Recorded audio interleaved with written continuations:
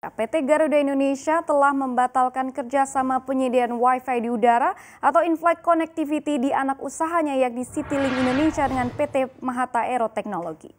Direktur Keuangan dan Manajemen Resiko Garuda Indonesia Fuad Rizal mengatakan kerjasama dengan kontrak 15 tahun in-flight Wi-Fi tersebut sebelumnya menjadi salah satu layanan yang digadang mampu meningkatkan utilisasi penerbangan di grup Garuda. Namun mengikuti keputusan Badan Pemeriksa Keuangan atau BPK, Garuda Indonesia harus memutus kontrak senilai 239 juta dolar Amerika Serikat tersebut. Fuad menambahkan saat ini perseroan berencana untuk menjalankan bisnis serupa dengan perusahaan lainnya. Namun Garuda Indonesia belum memperoleh calon investor serupa.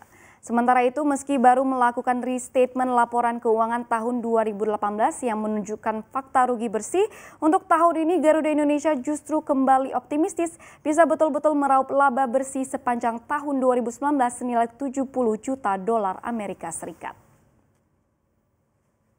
Untuk bisnis untuk bisnis uh, in-flight connectivity, prinsipnya Garuda uh, terbuka terhadap eh, ide-ide uh, baru jadi ke depannya kalau misalkan ada bisnis model yang sama karena Garuda itu tetap perlu untuk meningkatkan ancillary revenue-nya, komposisinya karena komposisi ancillary revenue di Garuda masih uh, cukup rendah dibandingkan dengan uh, industri airline pada umumnya.